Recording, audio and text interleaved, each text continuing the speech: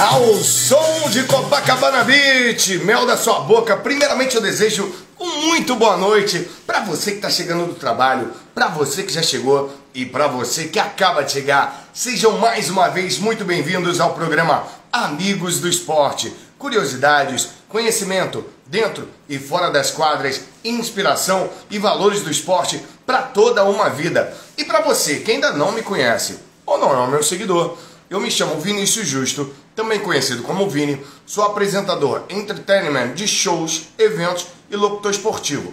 E hoje, há 10 dias dos Jogos Olímpicos, nós temos mais uma ilustre convidada olímpica.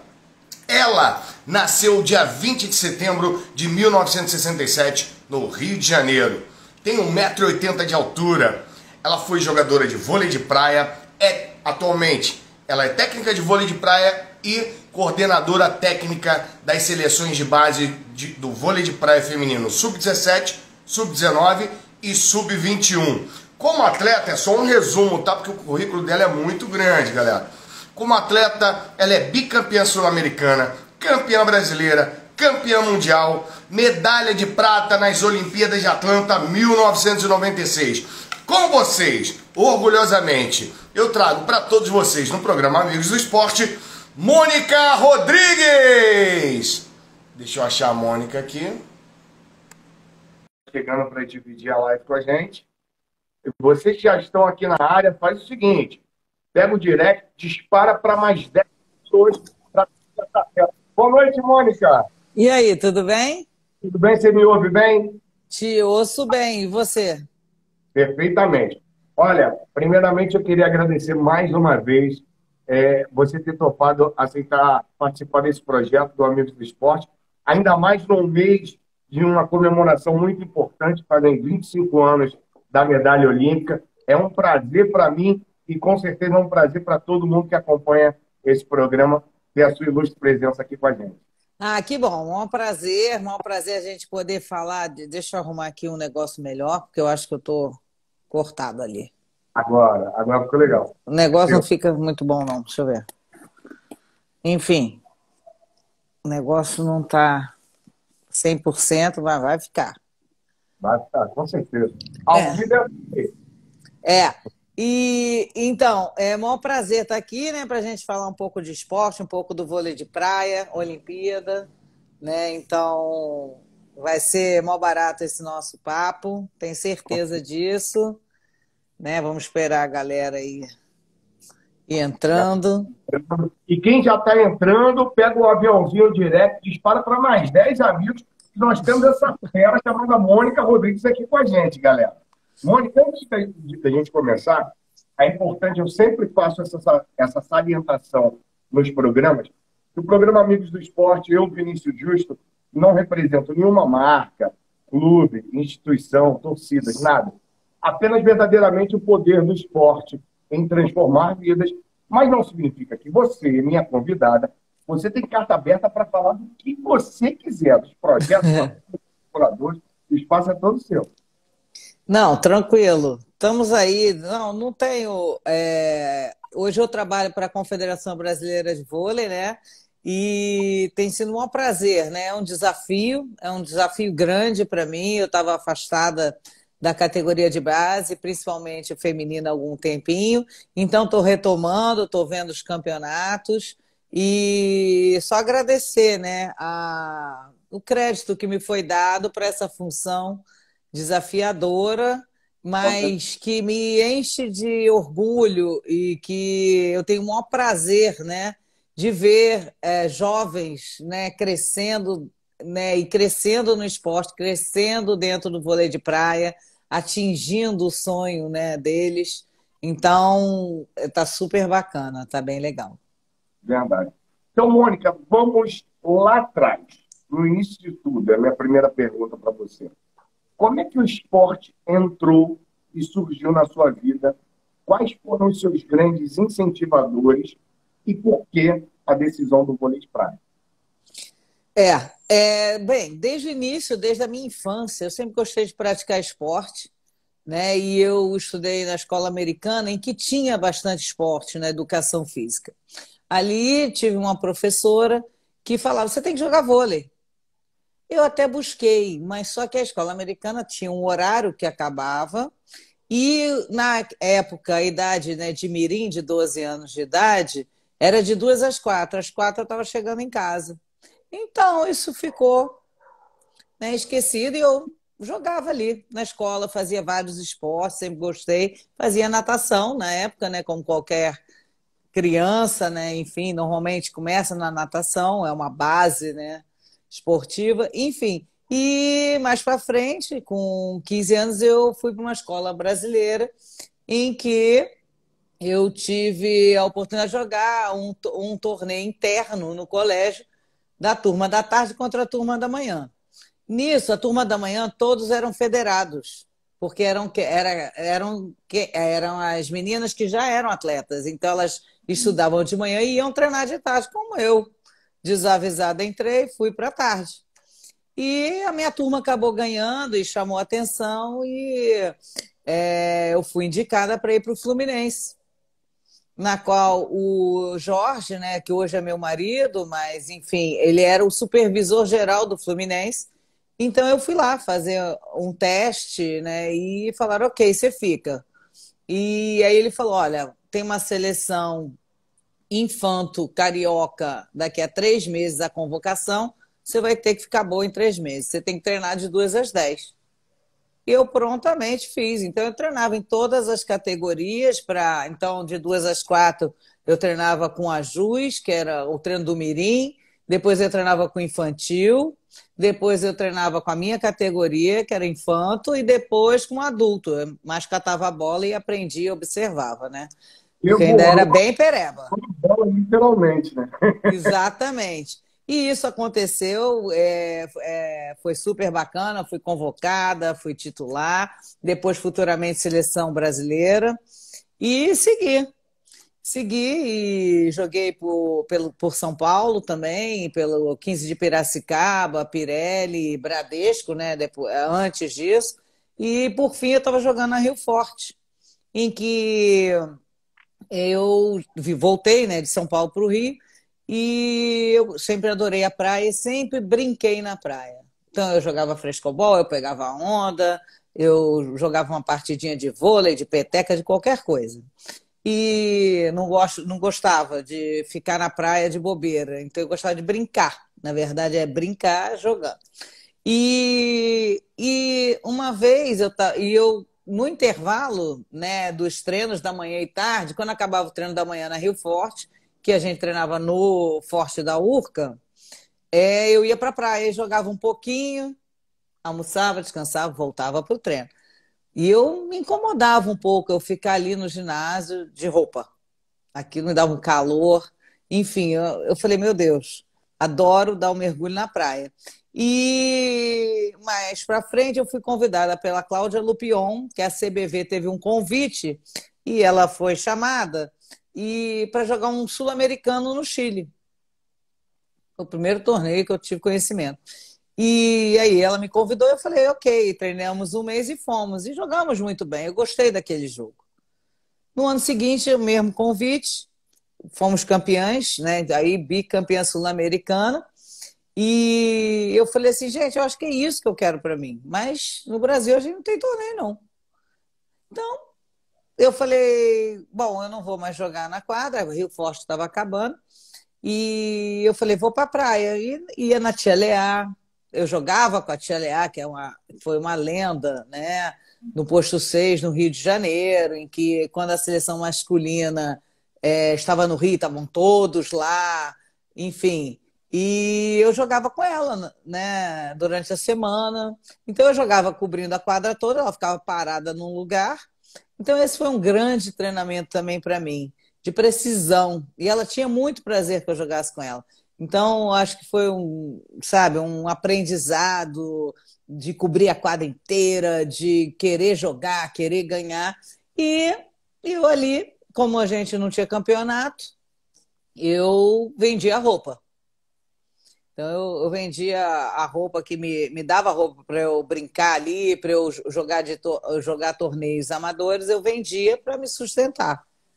Uhum. E nisso a Adriana não quis, teve um convite para ir para São Paulo e não foi, não queria ir.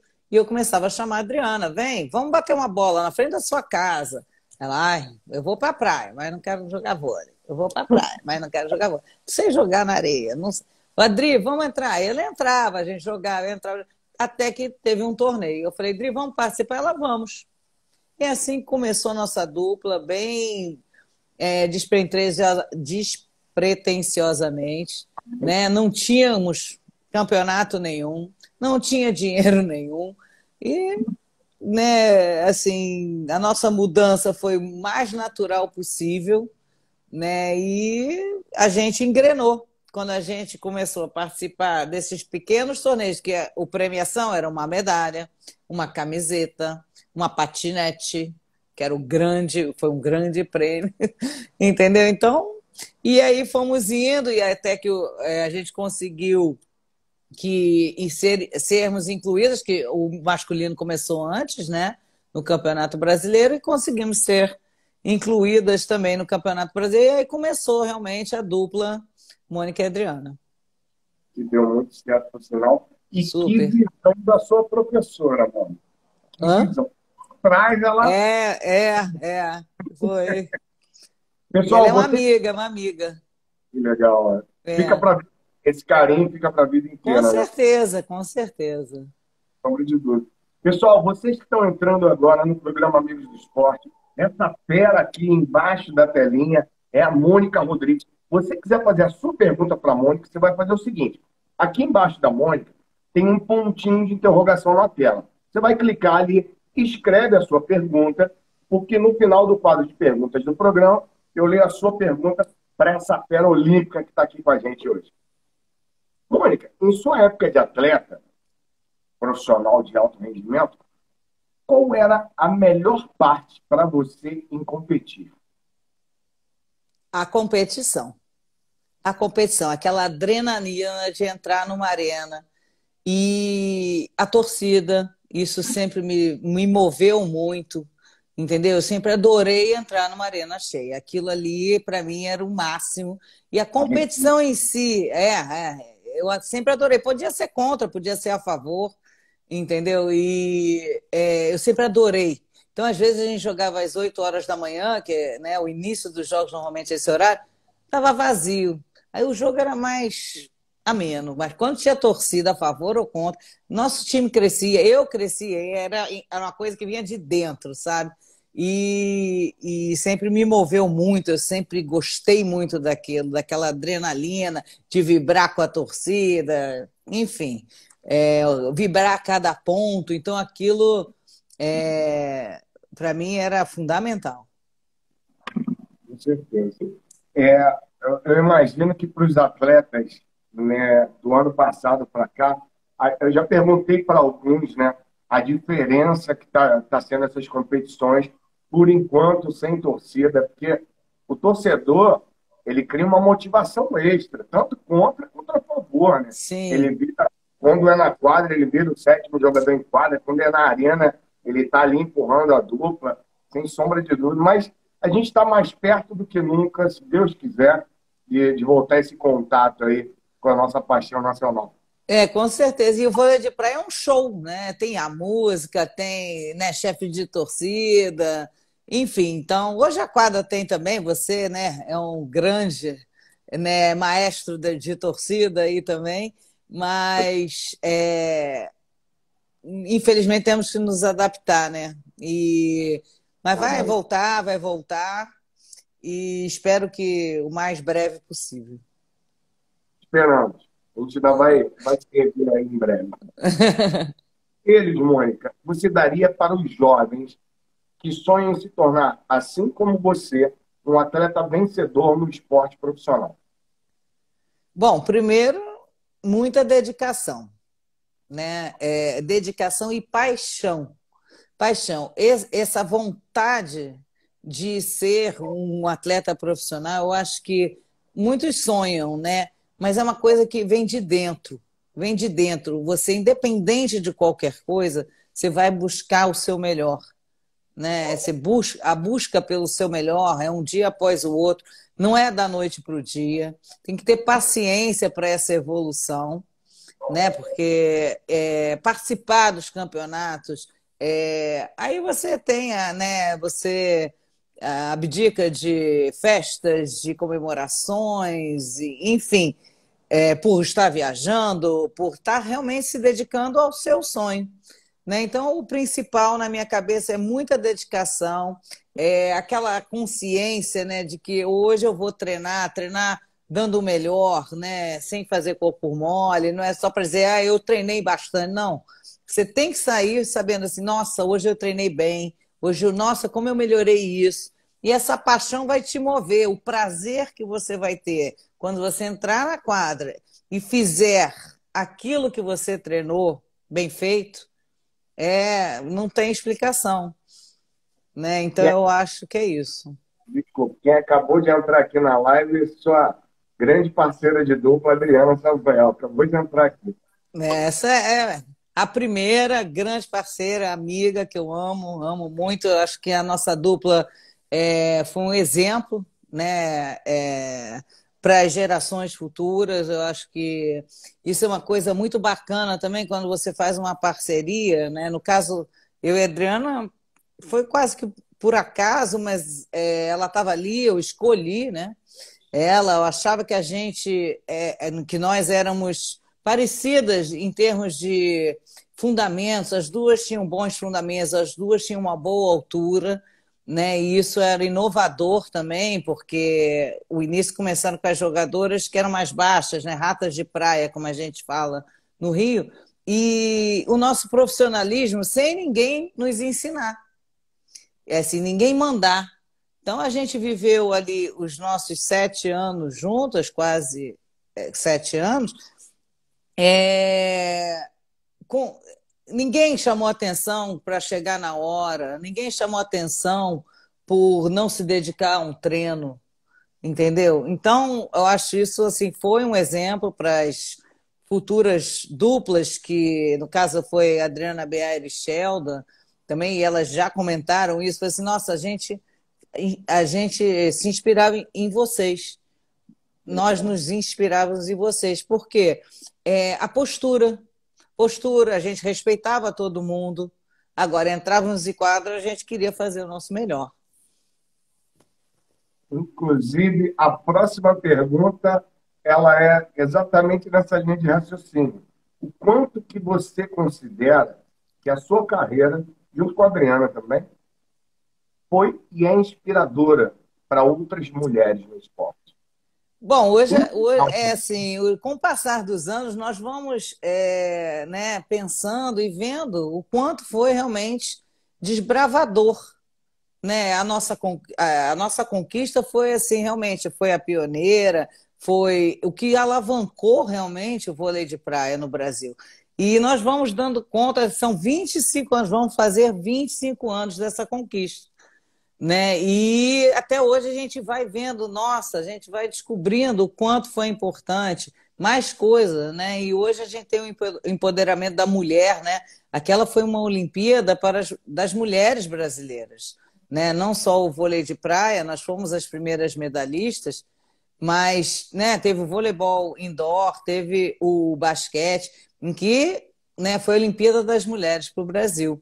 E hoje, é, os dados né, do COB, nós estamos indo com 48% da delegação. Né? As mulheres hoje fazem parte, né, ocupam 48% da delegação brasileira.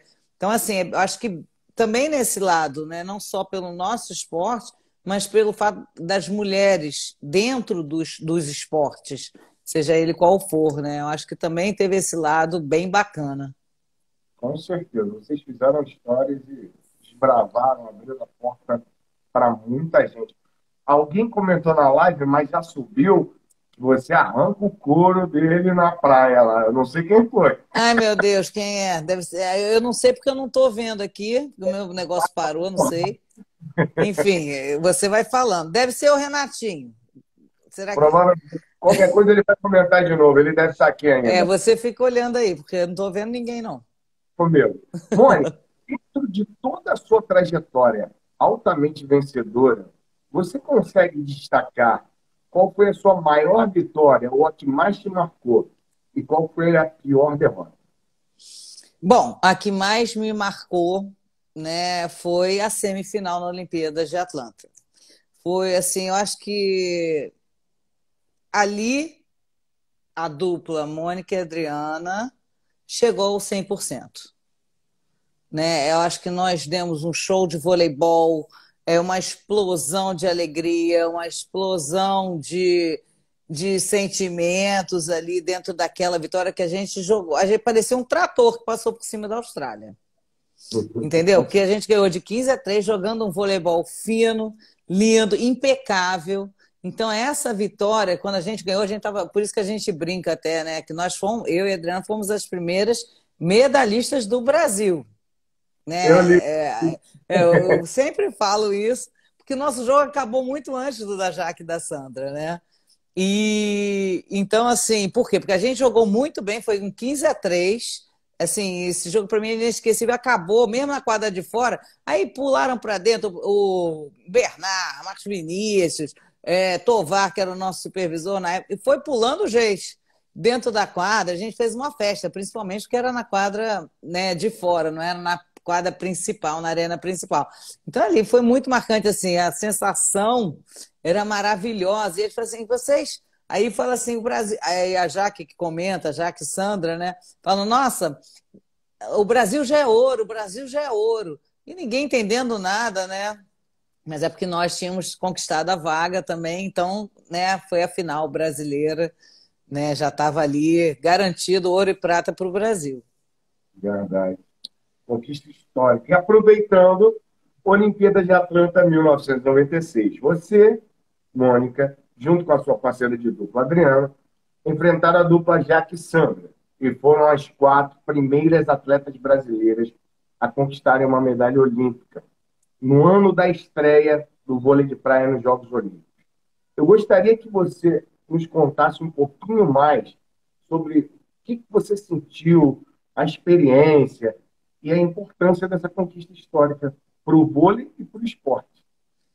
Bom, é, para o esporte eu, falei, eu acho que foi realmente, nós, é, né, eu acho que a gente pode falar que o vôlei de praia feminino era um antes da Olimpíada de Atlanta e eu acho que realmente é, a nossa conquista né, é, mudou totalmente, mudou para os olhos dos patrocinadores, no sentido de que, nossa, isso é profissional mesmo, né? Isso é um excelente produto, o vôlei de praia é um excelente produto. Essas atletas, acho que como representaram bem, né? Em termos de, eu acho que de disciplina, em, em termos de fair play, em, em termos de é, jogo, né? O nosso jogo eu acho que era bonito, bonito de se ver. Assim, eu vejo, sempre vejo, né? Com defesas lindas, jogadas diferenciadas, né, de grande habilidade, de força. Enfim, a gente já tinha tudo né, naquela época. Então, eu acho que realmente foi um divisor de águas e cresceu. Contanto que em 97, eu e a Adriana fomos as primeiras a terem uma escolinha de vôlei de praia com patrocinadores, com o apoio da Prefeitura do Rio de Janeiro, era gratuita né? Nós tínhamos os patrocinadores pra, para bancar a estrutura, essa coisa toda, e era gratuita para os jovens e tinham 500 crianças na fila de espera. Nossa! Era única, né? Foi único, foi diferente, foi um projeto muito bacana em que durou né, um ano e meio. Mas foi bem bacana para o pessoal né, ab abrir também as portas para que novas escolinhas de vôlei de praia começassem a surgir, e assim foi. E acho que foi pelo Brasil inteiro, né? E visto que hoje nós temos é, grandes centros de treinamento no, no Nordeste, temos no Centro-Oeste, no Sul, enfim. É, pelo Brasil todo, né, hoje o vôlei de areia, né, não só de praia, mas de areia, ele é jogado no Brasil todo virou, virou uma pa grande paixão nacional, com toda certeza. É. Pessoal, eu vou lembrar mais uma vez, você quiser fazer a sua pergunta para essa fera que está aqui comigo, atleta olímpica, Mônica Rodrigues, você vai fazer o seguinte, vai lá embaixo, clica no ponto de interrogação, escreve a sua pergunta e já já termina o quadro de perguntas do programa, eu faço a sua pergunta para ela, beleza? Aproveitando as Olimpíadas, Olimpíadas de Tóquio, daqui a 10 dias, 2021. Faltam 10 dias para os Jogos, né? Como é que você enxerga as reais chances do Brasil nessa Olimpíada, no vôlei de praia, e quais as duplas, no seu ponto de vista, serão os maiores desafios? Bom, eu vejo o voleibol de praia do Brasil com grandes chances de medalha, como sempre. É um pouco mais, assim, né, no feminino, por estarmos né, no, nos últimos campeonatos ali no pódio. Né, vista a última etapa, acabou de, antes da Olimpíada na Suíça, acabou é, né, agora, e né, primeiro e segundo lugar, final brasileira. Né? Então, ia ser o máximo também se isso acontecesse na Olimpíada. Mas eu acho que a chance é real. Eu vejo o no, na Olimpíada a, o time da, do Canadá. Tem um time do Canadá, o time da Alemanha. E assim, como e o time dos Estados Unidos como fortes adversários.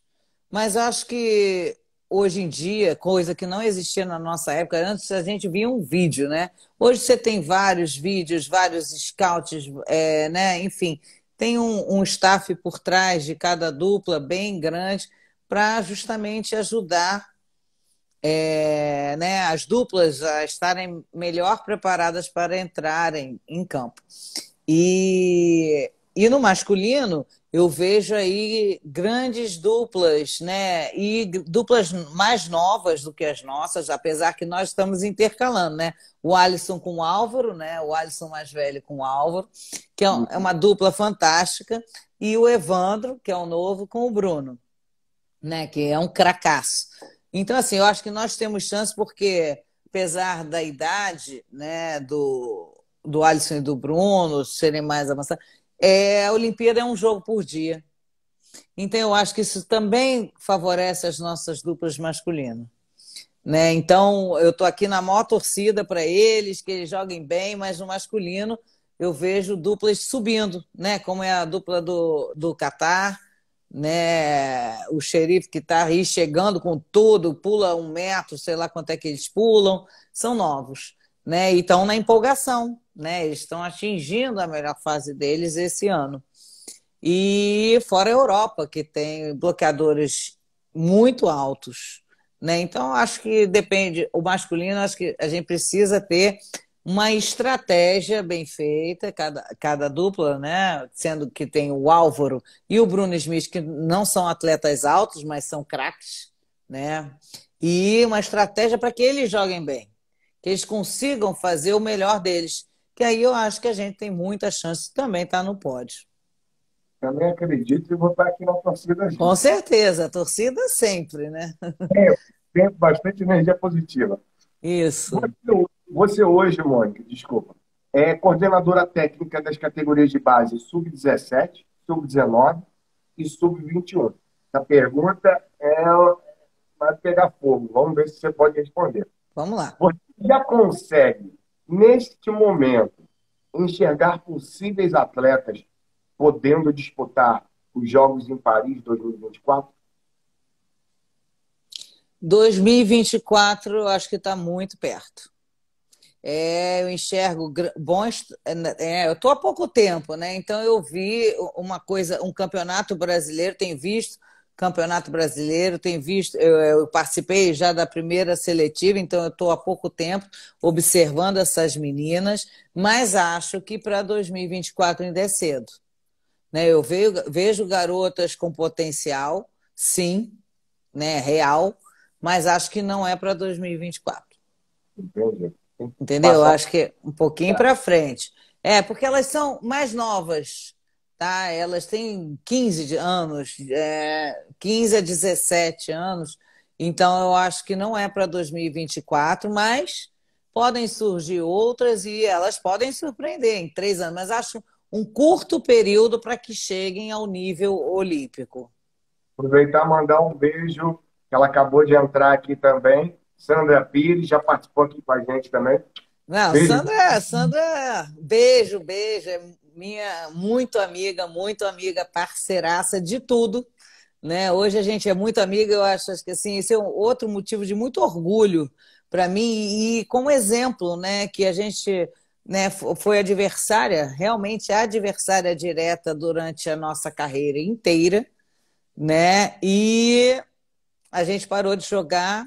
Hoje nós somos muito amigas, mas é muito amigas, parceiras de esporte, né? Então a gente joga tênis junto, a gente joga vôlei de praia, a gente joga beach tênis. E, então, assim, é, é muito bacana isso, ver que aquela rivalidade, né? que envolve o esporte e não pode é ser diferente, né? É só dentro de quadra. Né? Então é super bacana. Beijo, Sandrina. Beijo também mais uma vez, Sandra, muito especial. É... Mônica, o vôlei de praia, geralmente quando tem um atleta ou ex-atleta do vôlei de praia, eu faço esse tipo de pergunta porque cada um tem uma percepção diferente. O vôlei de praia, por ser um esporte outdoor, você pode se deparar com inúmeras condições climáticas desfavoráveis, né? Tipo, um sol muito escaldante, é, chuva forte, frio, até neve, o vento. Qual foi a pior condição em que você já teve que jogar e qual era o pior cenário para você?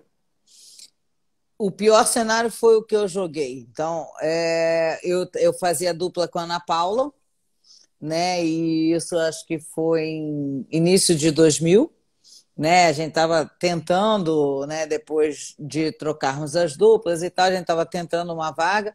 Então a gente foi jogar um qualifying no Canadá. Esse qualifying no Canadá estava é, 9 graus, muito vento, muita chuva. Aquilo ali parecia que estava menos de zero. Então, essa sensação né? É, foi a pior que eu encontrei. E eu, a gente fez o quê? Na época não tínhamos essa roupa toda, que né, o pessoal tem, de jogar de calça, eu nunca gostei também. Então nós jogamos de biquíni. A, a, organização ficou, acho que, com pena da gente, deu até casaco pra gente. Mas para jogar a gente tinha que jogar de top, era obrigatório. Então nós fomos jogar com sacos de lixo embaixo do top para aquecer. Então, só que ventava muito. Então, quando começou o jogo, o negócio voava para um lado, voava, né, inflava aqui de um lado, de outro e tudo. Eu acabei arrancando aquilo, mas a nossa sorte que nós jogamos muito bem e o jogo acabou rápido. Era um jogo super difícil, mas foi rápido. Era um jogo contra os Estados Unidos e aí nós classificamos para a chave principal, né? Então, esse foi o pior cenário, acho que eu joguei. E para mim o pior de todos é exatamente é muito frio, muito vento, né? O vento ele atrapalha demais e, e eu acho que isso é uma coisa que os atletas têm que se preparar sempre para que, né? E a sensação é muito boa quando você aprende a jogar com vento, sabe? Você fala assim, caramba, nossa, é possível jogar bem com vento, né? Então isso é muito treinamento e mas o pior cenário é muito vento e muito frio. Perfeito. Aproveitar também mandar um abraço, que eu estou vendo ele aqui na live, passou. Está até conversando com a Sandra, o nosso amigo comum Dentinho. Dentinho, Dentinho, Dentinho, né? Irmão do Marquinhos, que foi meu treinador na Olimpíada, e, enfim, depois foi também da, da Sandra e da Adriana, né? Menguinho, enfim, é uma família maravilhosa e que, pô, nos ajudou muito né, a justamente a chegar bem na Olimpíada. Né? O Marquinhos veio na época com a experiência de ter treinado o Loyola e o Anjinho nos Estados Unidos e, enfim, com novos treinamentos, maneira de, de ver o jogo mais, né, do jogo ficar mais dinâmico, enfim. Então ele nos ajudou muito.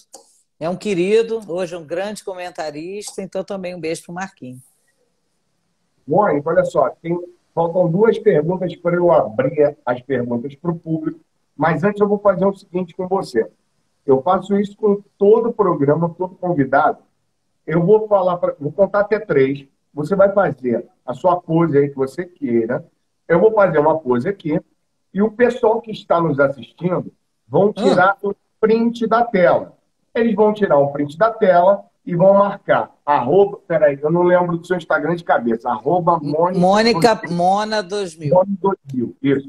Então, pessoal, vocês vão tirar o print da tela, vão marcar arroba Mônica Mona 2000 e arroba Vinícius Justo. Marca a gente, compartilha, depois a gente vai recompartilhar, beleza? É no 3, tá? Um, dois, três e.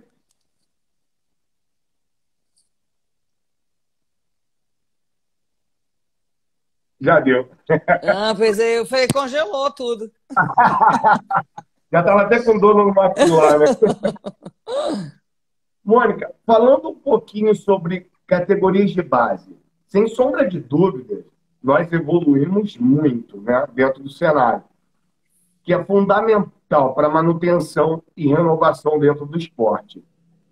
Comparando ao seu lá no início, quando você começou, para os dias de hoje, você pode destacar as maiores diferenças e o que ainda pode melhorar com o apoio da iniciativa pública e da iniciativa privada? Não, com certeza. Lá atrás não tinha nada. Nada, absolutamente nada. Nenhum, nenhuma de nós começou na praia. Né? Nós, o único, o vôlei era jogado indoor, né? E nos clubes enfim, então, é, né, é aquele papo. Ah, como realmente você foi? Por que, que você foi? É o atrativo? Não, não. Entendeu? Fui porque fui, não sei. Eu me encantei por aquele jogo que eu joguei lá no Chile e eu e a Adriana estava ali naquele momento, né? Uma pessoa que eu sempre respeitei muito, sempre a gente se deu muito bem e jogamos, nem eram tão nem éramos tão parceiras assim na, na quadra, éramos amigas, a gente se dava bem, mas assim, então é porque tinha que ser, entendeu? Acho que estava traçado isso para que nós começássemos esse novo esporte. Verdade, nada acontece por acaso. É. Última pergunta, antes de abrir para o público. Mônica, três em um um sonho, você ainda não realizou, uma realização e uma frustração. Hum, a realização é ter uma medalha olímpica, né? Acho que a realização, né, conquistar, né, uma medalha olímpica, é... enfim, foi o que eu escolhi para minha vida, né? Eu amo, né, ser atleta, eu amo esporte, eu amo vôlei de praia. Então você ter uma medalha olímpica naquilo que você realmente, no esporte que você escolheu, que você ama, isso quer dizer que você fez bem, que você se dedicou, então acho que isso, essa foi a realização. Frustração não ter ido para uma segunda Olimpíada. É, assim, no, né, no sentido de que eu estava bem fisicamente, eu tinha essa condição técnica e física de ir, e não aconteceu por, porque né, é, nos separamos, porque não deu tempo de fazer uma dupla competitiva. Enfim, então pode ser uma, uma frustração de não ter ido. Desculpa te interromper, a Sandra disse que a sua frustração foi não ter jogado com ela. Pode ser, hoje, hoje ela também, ela deve estar tá, ela pensa isso. A gente fala assim, caramba, como é que a gente nunca jogou junto, né? Porque a gente se dá bem, porque a gente faz, todo mundo quer ganhar da gente. Então a gente vai, faz desafios na praia, de vôlei de praia, de beach tennis, e todo mundo quer ganhar da gente. Né? Nós somos um alvo fácil, só que não somos fáceis de ganhar. Ninguém, a gente ganha, ninguém vai vencer a gente assim fácil, ninguém, nem hoje em dia. Enfim, então, é... e a terceira é um sonho não realizado. Cri... Bom, um sonho realizado é dentro do esporte ou qualquer sonho? Você que manda. Um sonho ainda não realizado é fazer uma viagem para a África. Bom sonho. É, uma coisa assim que eu sempre tive vontade, eu acho lindo, eu amo a natureza, eu amo os animais, né? A Adriana, se tiver aí ainda, ela pode falar. A Sandra participou também em todo lugar que a gente viajava, tinha zoológico, eu ia ver. Eu, e aí eu chamava, vamos para um tour do zoológico do Japão. E aí eu, eu, eu brincava de ser guia, vamos por aqui, vamos por ali. Enfim, então a gente brincava. Mas assim, esse é um sonho que eu ainda não realizei. De um de, né, fora do esporte, que é de conhecer a África, e dentro do esporte, uma coisa que eu sempre quis é de crescer com uma dupla, né? Crescer é, no sentido da gente começar ali no sub-21 e chegar ao profissionalismo e conseguir, né? Enfim, é, chegar nos mundiais bem, sabe? Ter uma dupla de destaque, mas tendo crescido junto é uma coisa que eu sempre idealizei é uma coisa que eu sempre quis, né? E, enfim, vamos ver se isso ainda vai acontecer, se não vai, mas é, também pode ser considerado um sonho no esporte, seria esse. Com certeza vai acontecer os dois e a, a Sandra vai te levar e já está marcado. Hein? Vamos lá, vou abrir as perguntas do público para essa fera chamada Mônica Rodrigues. Vamos ver a primeira. Hugo Silva pergunta: qual é a diferença do vôlei do Brasil para o vôlei europeu? Bom, hoje em dia, né, a gente vê a altura, né? Então, hoje a gente vê o vôlei do Brasil como, como sempre foi, é um, é um voleibol é, cheio de habilidades, né? Um voleibol que não é engessado, né? Nós temos atletas habilidosas, né? Em todas as nossas duplas, a gente tem no masculino, tem no feminino. E eu vejo o voleibol europeu, assim como o voleibol americano, né? É, dos Estados Unidos, um voleibol mais é, de força, é, porque é muito alto. Então, assim, eles não têm tanta habilidade, eles não têm tanta criatividade né, para, para jogarem ali, né, fazendo coisas que eu acho que só o Brasil tem. O brasileiro realmente. É, é o brasileiro é criativo e é criativo jogando também. É verdade. A Cláudia pergunta, provavelmente deve ter sido na volta das Olimpíadas, essa pergunta. Mônica, e a sensação na volta ao Brasil? Ah, foi a melhor possível, né? Porque nós chegamos no aeroporto, aí era aquele tumulto todo, e a gente entrou, né? Fomos para um carro de bombeiro. Carro de bombeiro, a gente saiu do Galeão, era um dia nublado, e a gente falou assim: meu Deus, lá vamos nós. E a gente começou a curtir ali. Quando a gente passou pelo centro da cidade, aquele dia nublado, chuva de papel, todo mundo na janela. Então nós viemos lá do Galeão até aqui a praia de Ipanema, né, onde nós treinávamos. A gente veio com chuva de papel, todo mundo na rua, um monte de mulher na rua, falando: vocês nos representam, nossa, que massa, que conquista. Então a gente curtiu muito esse nosso passeio no carro de bombeiro. Né? Então, isso foi muito bacana, isso também é inesquecível. Né? E e assim, e aí a gente foi realmente realizando, vamos lembrar, né, que naquela época não tínhamos internet, né, não tínhamos celular. Então, assim, a gente não sabia de nada, né, das notícias, assim, né, como corriam. A gente não sabia, a gente realmente foi ali e jogou a Olimpíada. A gente mal, eu e a Adriana mal conhecemos a Vila Olímpica, né? Até acabou, eu falei, Adriana, Vamos na lojinha de Atlanta, que deve ter dentro né, das coisas de Atlanta aqui na vila. Vamos achar onde é que é para a gente comprar alguma coisa de Atlanta. Não é possível que a gente não consiga, né? Ter uma lembrança. E assim foi. Aí que a gente foi conhecer a tal da lojinha. Né? Então, assim, nós estávamos muito, muito focadas no que a gente foi lá para fazer, que é dar o nosso melhor, e graças a Deus demos, né, concentradas, enfim, foi especial demais. Pergunta respondida. Só para lembrar para você ó, que depois desse programa aqui, já tem aí quase que uma caravana de pessoas confirmando para ir para a África com você. Oba! Tem um monte de gente falando que para a África com você. Então vamos. Vamos lá, próxima pergunta. O Renato Falcão pergunta: quem foi a sua maior adversária? Minha maior adversária foi Jackie Silva e Sandra Pires. Pergunta respondida. Um, o, o Ricardo Lopes pergunta: Oi, aqui é o Ricardo. Você acha que futuramente o vôlei possa ser o esporte número um do Brasil? Um abraço. Bom, eu acho que hoje ele já é.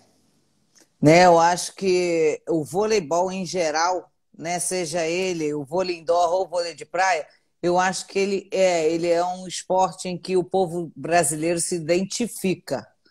Lógico que nós não vamos concorrer com o futebol. Né? Enfim, nós do voleibol nem temos essa pretensão, mas é, em, é, já foi estudado que né, o, o futebol é um, Tá, né, um outro esporte, e os esportes olímpicos, né, sem, sem contar o futebol, nós somos o primeiro esporte do Brasil. Pergunta respondida. A próxima. Desculpa, me deu vontade de espirrar, Mônica. Fique à vontade. A próxima pergunta é da Norma Granha. A gente já falou aqui durante a live, ela deve ter chegado depois. Ela pergunta o que que elas, o que, que você está fazendo hoje em dia. Bom, hoje eu tô, tô coordenando, né? Eu estou trabalhando para a Confederação Brasileira de Vôlei como coordenadora técnica das seleções brasileiras de base, que são de jovens atletas, né? Então hoje eu estou com feminino, de atletas de 20 anos para baixo. E, assim, é um maior desafi é, é desafiador, né? Porque nós temos que reestruturar isso para que nós possamos, né, cada vez mais revelar novos talentos. Então, isso a gente vai criando formas para que isso né, aconteça bastante, para que, quem sabe, em 2024 a gente tenha uma atleta bem jovem. Olha, ela não, ela não escreveu no pontinho de interrogação, não, mas ela também é uma querida. Inclusive, quando você falou de Atlanta, que você não conseguiu da lojinha, estava querendo conhecer alguma coisa, eu lembrei da história que ela contou, querendo conhecer a Disney, na época com a Jaque. não ia, coitada. Não, ali não ia rolar, tadinha. Ela não pôde nem ir na, no desfile de abertura. Eu acho Sandra... que a grande frustração da Sandra foi isso. Ela não pôde ir em Atlanta, né? Depois ela foi, foi porta-bandeira, depois. É. E uma pergunta para você: quantos ouros você acha que traremos no vôlei de praia? Bom, a gente só pode trazer dois, né? Pergunta respondida. É verdade. Mônica, olha, eu queria te agradecer imensamente por você ter abrilhantado a nossa noite com a sua simpatia, com as suas histórias, com todo esse conteúdo incrível e, e, e esse exemplo que você é como atleta e como ser humano. É, queria abrir agora para você fazer as suas considerações finais e mais uma vez dizer que foi um privilégio ter você aqui com a gente. Gratidão, gratidão, gratidão. Pô, obrigada, Vinícius. Foi um prazer, você é espetacular. Parabéns também pelo seu trabalho, né? Eu acompanho aqui, vendo jogos aqui, né, na televisão, né? Você chefiando aquelas grandes torcidas. Obrigada é, para os meus amigos que estão aqui. Eu vi Norminha, Gabi. Gabi foi uma, uma atleta minha que, enfim, que eu também é, comecei a treinar. Ela tinha 17 anos enfim, está aí no Sub-21 ainda. É uma querida que eu adoro. Eu tenho muito prazer né, em, em, em ver essas pessoas esse, com, com esse sonho. Então, tem aí a mãe da Nina também, que é uma Sub-17, sub que está dentro da, da, desse grupo né, do Brasil de jovens. Então, um beijo também para Nina, Rosana, que faz aula comigo, Vaninha super amiga. Nossa, eu, agora eu estou vendo aí, Jorjão, meu marido lindo, né? Que o Jorge foi uma pessoa muito importante na minha vida, no sentido também é, né, profissional, em termos. Aí uma outra maneira que é de como enxergar o jogo, sabe? É, eu sempre gostei de conversar sobre o meu time, sobre o que fazer, coisas novas. E o Jorge era uma pessoa que sempre gostou muito disso, ele sempre inovou. Então, isso eu acho que me. Né, eu acho que nasci com um dom, Deus me deu um dom de enxergar bem o jogo, mas eu acho que ele contribuiu muito para que isso ficasse melhor, e isso é um grande. É, assim, sabe, uma paixão minha. Eu vejo qualquer esporte e eu procuro entender, eu quero ver uma estratégia, eu vejo com outros olhos, não sou só uma torcedora. Então, é... o Jorge também, obrigada, obrigada pela contribuição, né, dentro da atleta, dentro da técnica e hoje, né, da coordenadora que ele também é, foi coordenador e me ajuda muito, eu peço dicas e tudo. Então, estou vendo aí meus alunos, né? vejo o Renato Falcão, Vaninha, todo mundo joga contra mim, todo mundo quer me bater, né? e eu curto essa brincadeira. A Adriana, que né, não joga mais nada, infelizmente, mas Espiga, minha prima, que mora em Miami, e, enfim, também, que é, é super é, apoia, que está sempre presente. Titia, né? Enfim, é... meu filho acho que não está aqui, que eu acho que ele está treinando. Gran... Depois ele assiste no IDTV. Não, com certeza, é. Isso ele vê depois, porque ele está fazendo parte física, enfim, e ele também não, né, não virou atleta, mas adora jogar o vôlei de praia principalmente. E, enfim, então também, né, a gente pode estar tá nesse ambiente de esporte, esse ambiente saudável, esse ambiente na praia, também, assim, é, é motivo de grande felicidade, né, você ter família reunida dentro de de um, de um ambiente tão bacana, perto da natureza, então isso é bem legal. É e um beijão para o Posto 10, é onde fica a minha rede, né, onde eu dou aula, onde a gente brinca no fim de semana e que eu tenho uma família ali, que são meus amigos, que são super, hiper, hiper especiais, entendeu? Eu já vi alguns nomes, gente, eu não estou vendo tudo, mas, é, sabe assim, não tem palavras para agradecer né, esse círculo de amizades, essa família que nós formamos. Então, pô, muito legal vocês estarem aqui, prestigiando, participando. Regina, é... é... não vejo mais nada, tá bom. Vaninha, o Ru, é... a Débora, Débora, Débora Grande. Olha lá, vou lá apitar o rachão. Boa, Débora, vou te chamar, hein? Então, aí temos o Paulo também, que é uma outra pessoa que é de Fortaleza, que, pô, é show de bola, Débora. Enfim, é quem eu consigo ver, Vinícius. Não... Muita gente. Gaia. Mais uma vez, muito obrigado. Você é, é, é nota mil, é uma simpatia em pessoa e é um exemplo para muitas e muitas gerações. E você, com certeza, vale o meu jargão. Mônica Rodrigues, é show! Eba! Boa, beijão. Obrigada, gente. Obrigada, Vinícius. Que nosso vôlei de praia brilhe lá em Tóquio, né? Vamos torcer. Rumo ao ouro. Rumo ao ouro. Boa noite. Beijo, obrigada, tá? Beijão. Tchau, valeu, galera. Até terça que vem.